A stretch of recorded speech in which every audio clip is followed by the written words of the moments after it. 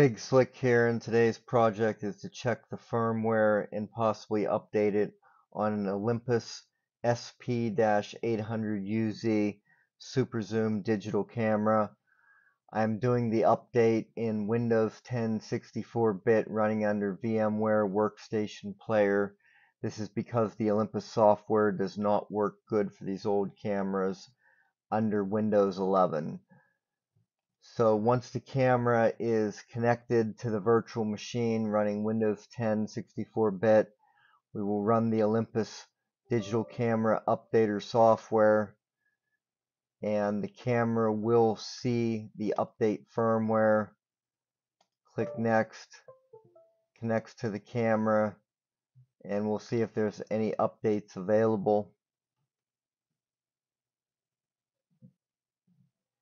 And we are already using the latest firmware there is no need to update.